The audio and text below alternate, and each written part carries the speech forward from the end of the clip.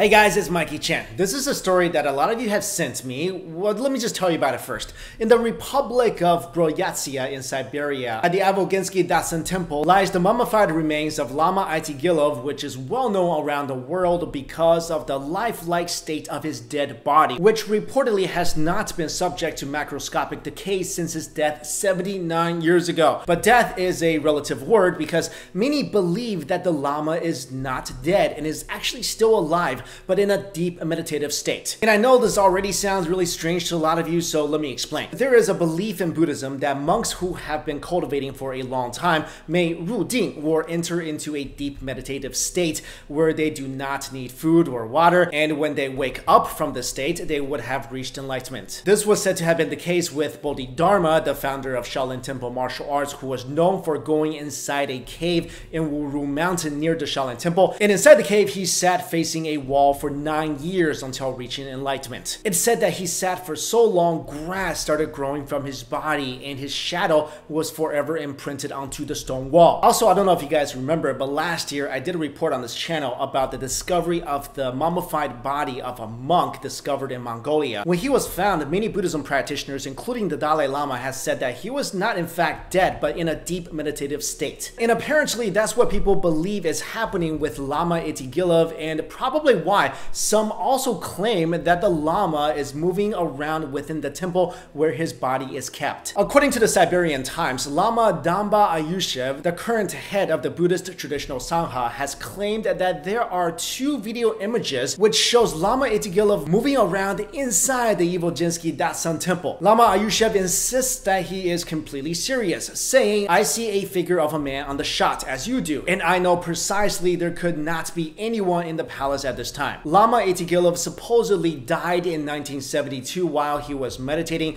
and he requested that he was to be buried sitting in the lotus position. But what's really strange was that when his remains were examined in 1955 and again in 1973, the monks were astonished to find no signs of decay. In September of 2002, his body was once again exhumed, but this time with Buddhist leaders and scientists present. And they were really surprised to find that the remains were found to be in a condition of someone who had just died 36 hours ago with muscle tissues, joints, and even the skin intact. Now, I do believe that people can meditate for a long period of time, maybe even years without food or water. I mean, the case of Bodhidharma, if that's true, is pretty incredible, and how Lama Itigilov is able to not decay just, just boggles my mind. But these photos, I, I don't know. I mean, the first one, it does look like there's a monk standing there, but also looks like the monk seemed to be dressed in some sort of uh, military uniform or camouflage and seem to be carrying bags. I know people have said that no one was supposed to be there at that time, and I don't know why somebody who looks like a soldier would be there with what kind of looks like takeout food. And, and the second image, I, I really can't tell what that is. I mean, is the lama just wandering around, stretching himself out after decades of sitting in the lotus position? If you guys ever sat in the lotus position,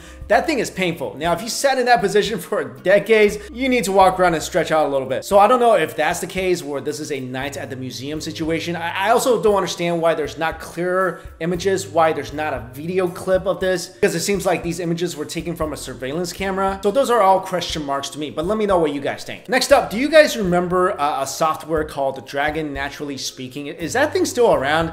I actually got one of those when I was in college and they were really, really expensive. I think I spent over a $100 for them because I was so sick of actually typing. But I remember after buying that software, it was even more stressful trying to get it to work because his comprehension was worse than Siri's. Anyway, I have always thought that wouldn't it be great if I could just think about whatever I want to type and it magically appears? Well, that technology may be in developments right now. According to Frontiers in Human Neuroscience, scientists are already decoding speech from signals generated in our brains when we speak or listen to someone talking. There are a variety of technologies out there to accomplish this, but the method that stood out most is called electrocorticography. This technique uses a brain-to-text system demonstrated on epilepsy patients who already had electrode grids implanted for treatment treatment for their condition. Patients read out texts presented on a screen in front of them while their brain activity was recorded. When the researchers included language and dictionary models in their algorithm, they were able to decode neural signals to text with a high degree of accuracy. And finally, you may have a superpower but don't even know it yet. You might be a super recognizer. I'm serious, that's that's what they're calling it. A super recognizer is basically what it sounds like, someone who is really good at recognizing people. They may remember people they haven't seen in years or have changed in appearance or someone they have only met briefly. And if you are a super recognizer, then you are in high demand, especially in the police force where you are needed to help match faces captured on surveillance cameras, scan crowds for possible troublemakers or criminals, or even help with victim identification. But you know what, guys? I'll tell you right now, I, I do not have this ability. I have the opposite of this ability. I'm a super unrecognizer. I'm not even kidding about that. It's bad to the point where, let's say I'm sitting across from someone on a train, and let's say that particular person murdered somebody and then, and then ran away.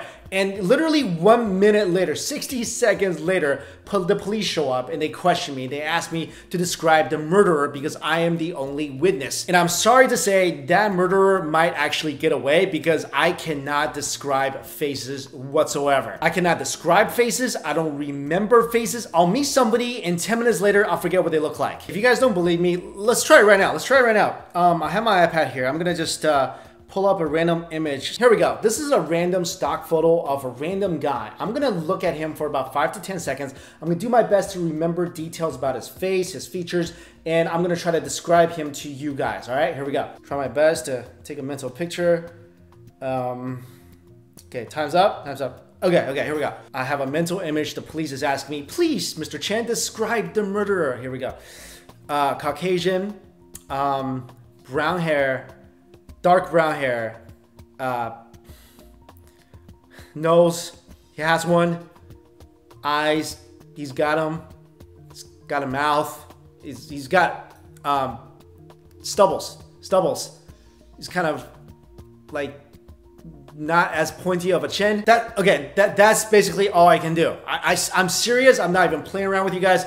That's all I can do. And I know they'll probably ask me questions like, "Can you describe his eyes?" And literally, if I'm trying to describe his eyes right now, he has them. That's all I can come up with. They're, you know, they're like that. I, I have no clue. Describe his nose. He's got a nose. What? What else can I say about a nose? I anyway. Let me know if you're just as bad as I am, and also let me know if you are a super recognizer. So today we covered a moving mummy. Our brains may be able to type soon, and just go ahead and commit crimes in front of me because I'll never remember your face. All right, guys. Thank you all so much for watching. See ya.